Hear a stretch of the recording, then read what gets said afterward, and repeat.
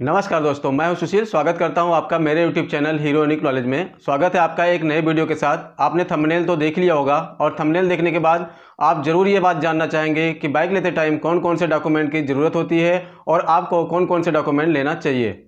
आप में से बहुत सारे लोग ऐसे होंगे जो पहली बाइक खरीद रहे होंगे और बहुत सारे लोग ऐसे होंगे जिनके पास ऑलरेडी बाइक होगी। बट उनको भी नहीं पता होता है कि जब वो बाइक लेते हैं तो वो कौन सा डॉक्यूमेंट है जो आपको नहीं दिया जाता। और कोई भी आपको ये देता भी नहीं है, क्योंकि ये आपको बताना ही नहीं चाहते कि हाँ ऐसा भी होता है।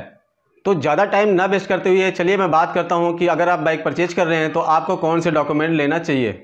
तो सबसे पहले मैं आपको ये बताता हूँ कि आपको कौन से डॉक्यूमेंट लेने चाहिए और वो कौन सा डॉक्यूमेंट है जो आपको नहीं बताया जाता, वो मैं सबसे वीडियो के लास्ट में बताऊँगा तो आप वीडियो के अंत तक बने रहिएगा। स्टार्ट करते हैं नंबर एक पॉइंट से नंबर एक पॉइंट पे क्या आता है कि अगर आप बाइक परचेज कर रहे होते हैं तो आप जो पेमेंट करते हैं, या तो कैश करते हैं, या फिर ऑनलाइन करते हैं। अगर आप कैश करें या फिर ऑनलाइन करें तो उसकी जो रिसिप्ट होती है, वो आपको ज़रूर लेना चाहिए कि आपने कितने पैसे दिए और वो रिसिप्ट आपको लेना चाहिए।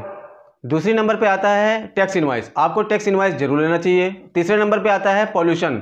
आज का जो पॉल्यूशन होता है, वो कंपनी की तरफ़ से टेम्प्रेरी बेसिक पॉल्यूशन आता है और जो आपको दिया जाता है, उसको हम 22 नंबर कहते हैं। 22 नंबर एक्चुअली होता क्या है? रोड वर्थ लाइन सर्टिफिकेट होता है, जो आपको आरसी जब तक नहीं आती है आपकी, तब तक वो टेम्प्रेरी बेस पे पॉल्यूशन काम करता है।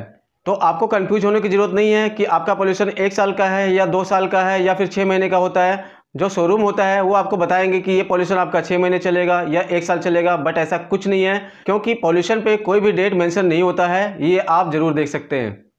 तीसरा नंबर होता है रोटेक्स स्लिप रोटेक्स स्लिप क्या होता है? एक्चुअली ये टेम्प्रेरी आरसी होती है, जब तक आरसी नहीं आती है, उसके बेस पे ये काम करता है। जो आरटीओ का टैक्स होता है, उसकी एक स्लिप होती है, यानी जब आरटीओ का पैसा जमा हो जाता है तो आपका गाड़ी नंबर आता है, यानी व्हीकल नंबर आपका जनरेट होता है। तो आपको hand to hand RTO slip लेनी चाहिए। अगर हैंड टू हैंड पॉसिबल नहीं है तो एक या दो दिन में आरटीओ स्लिप आपको मिल जाती है। पाँचवें नंबर पे आता है बाइक का इंश्योरेंस बाइक का इंश्योरेंस आपको ज़रूर लेना चाहिए और बाइक का इंश्योरेंस आपको हैंड टू हैंड लेना चाहिए, क्योंकि हो सकता है कि आप बाइक लेके जाएँ और जल्दी से ये वो चोरी हो जाए। ऐसा भी हो सकता है। तो आपको जो बाइक का इंश्योरेंस है, ज़रूर लेना चाहिए और वो हैंड टू हैंड ही लेना चाहिए। बाकी काम बाद में बट इंश्योरेंस आपको सबसे पहले लेना चाहिए। तो अगर आप रोड पे बाइक लेके निकलते हैं तो सबसे मेन कागज़ क्या होता है? यानी सबसे मेन पेपर आपके क्या होते हैं? आपको क्या रखने की ज़रूरत पड़ती है? तो आपको रखने की ज़रूरत पड़ती है इंश्योरेंस टेम्प्रेरी आरसी आपका पॉल्यूशन जो टेम्प्रेरी बेसिक होता है और शोरूम वाले आपको देते हैं। चौथा जो मोस्ट इंपॉर्टेंट है, वो है आपका ड्राइविंग लाइसेंस तो आपके पास चार पेपर रखने बहुत ज़रूरी होते हैं इंश्योरेंस पॉल्यूशन आरसी और ड्राइविंग लाइसेंस अगर आपके पास ये चारों पेपर हैं तो आपको बाइक चलाते वक्त कोई भी दिक्कत नहीं होती है और आप आराम से ड्राइव कर सकते हैं। कोई भी पुलिस वाले या रोड ट्रैफ़िक वाले आपको नहीं पकड़ सकते। अब मैं बात करता हूँ वो कौन सा डॉक्यूमेंट है जो आपको नहीं दिया जाता या फिर आपको नहीं बताया जाता है। तो आपने इंश्योरेंस तो ले लिया बट आपने क्या देखा कि इंश्योरेंस में कौन कौन से कवर आपको दिए जा रहे हैं? आपने कभी ध्यान नहीं दिया होगा।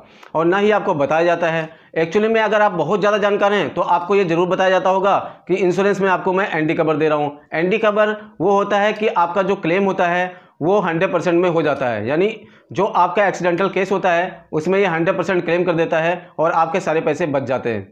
लेकिन इंश्योरेंस में आपको एक कवर नहीं दिया जाता है। एक्चुअली वो क्या नहीं दिया जाता? आपने आरटीआई कवर का नाम सुना ही होगा। अगर आप बाइक एक लाख की परचेज करते हैं तो आरटीआई कवर वनली दो तीन सौ का होता है। और अगर आपकी व्हीकल चोरी हो जाती है और आपको अगर एक लाख की बाइक है तो आपको एक लाख वापस मिल जाए। ये है आरटीआई कवर अगर आपने इंश्योरेंस में आरटीआई कवर नहीं लिया है तो आपको सिर्फ़ इंश्योरेंस की आईडी भी मिलती है। यानी इंश्योरेंस में जितनी वैल्यू होती है, वो आपको मिलती है। बट अगर आपके पास आरटीआई कवर है इंश्योरेंस में तो अगर आपकी बाइक स्टोलन हो जाती है, यानी चोरी हो जाती है तो जो आपका इन्वाइस अमाउंट है, यानी जो आपके इन्वाइस पे कवर है इंश्योरेंस में वो सारा कवर आपको दिया जाता है। यानी आपको इन्वाइस की टोटल वैल्यू दे दी जाती है। तो है ना ये बहुत बढ़िया बात, जो आपको शोरूम वाले कभी बताएँगे नहीं, और आपने कभी सोचा भी नहीं होगा। तो अगर आप इस टाइम या फिर आगे फ्यूचर में बाइक लेना चाहते हैं तो आप ज़रूर ये ध्यान रखें कि आप R T I cover insurance में ज़रूर लें। इससे आपका ही बेनिफिट है और अगर बाइक चोरी हो जाती है तो आपको इनवाइस का वैल्यू मिलता है।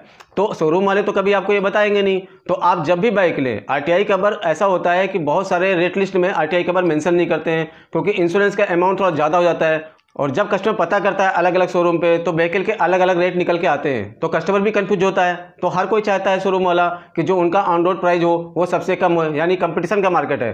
तो जब आप बाइक लेने जाएँ, अगर वो आपको आर कवर नहीं दे रहे हैं तो आप दो तीन सौ और लगा दीजिए, यानी दो तीन सौ उनको एक्स्ट्रा पेमेंट दीजिए और उनसे बोलिए कि मुझे भाई आर कवर चाहिए। आर कवर ये चीज़ होता है कि आपकी अगर बाइक चोरी हो जाती है तो आपका सारा पैसा मिल जाता है आपको।